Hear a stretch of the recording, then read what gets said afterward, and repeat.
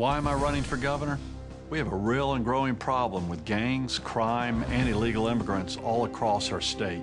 When illegal immigrants break the law, they should be punished and sent back home. In my area, we've trained local law enforcement officers to do just that. Once I'm governor, we'll put the program in place everywhere in North Carolina.